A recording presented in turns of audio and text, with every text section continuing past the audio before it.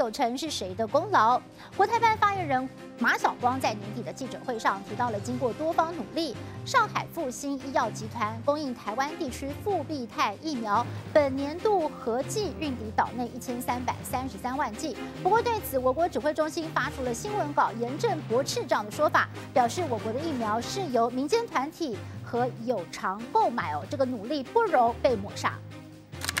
永林基金会执行长刘幼彤开心贴文，一千三百三十三万剂到货 BNT，作为二零二一年结尾。因为从半年多前，红海永林基金会携手台积电和慈济，向国外购买 BNT 疫苗，一共一千五百万剂。二零二一年最后到货将近九成，成功达标。但现在中国国台办要来收割了吗？上海复星医药集团供应台湾地区的第一批啊复必泰疫苗啊，于今年九月顺利抵台。我们合计啊。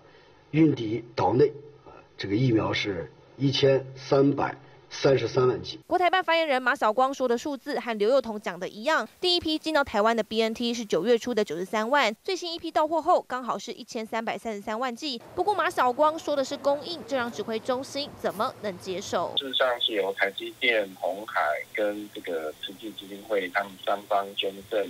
不应该抹杀这些相关单位的出钱出力的一个付出。连被问到如何帮助台湾对抗疫情，国台办还反批我国政府啊，民进党当局啊，出于啊谋求政治私利，恶意的污蔑啊大陆的疫苗，向台湾的疾控部门通报大陆疫情信息累计达三百二十四次。指挥中心也发新闻稿，针对国台办错误内容澄清。疫情期间，中国大陆提供我方疫情资讯共两百八十六次，向 WHO 申请两百二十场会议，只有七十七场后邀出席。两岸只相隔一个海峡，但认知和资讯却差很大。记者付赞黄成博台北采访报道。